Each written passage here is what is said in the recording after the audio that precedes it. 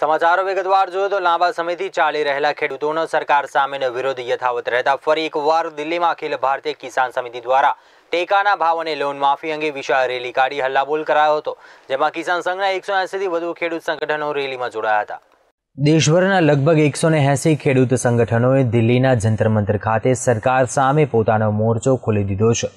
અખિલ ભારતીય કિસાન સંઘર્ષ સમન્વય સમિતિના બેનર હેઠળ આ ખેડૂત સંગઠનોએ રામલીલા મેદાનથી સંસદ ભવન સુધી વિશાળ રેલી યોજી પાકના ટેકાના ભાવ અને લોન માફીની માંગ કરી હતી.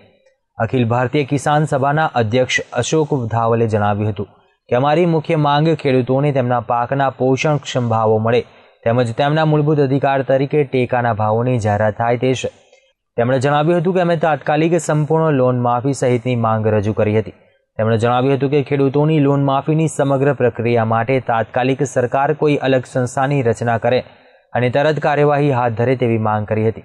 દાવલે વધુમાં જણાવ્યું હતું કે વડાપ્રધાન મોદીજીએ લોકસભાની ચૂંટણી પ્રચાર દરમિયાન વચન આપ્યું હતું કે જેઓ તેમની સરકાર આવશે તો ખેડૂતોને તેમના પાકને પૂરેપૂરું વળતર મળશે અને સ્વામીનાથન આયોગની ભલામણને તાત્કાલિક અસરથી લાગુ કરવામાં આવશે.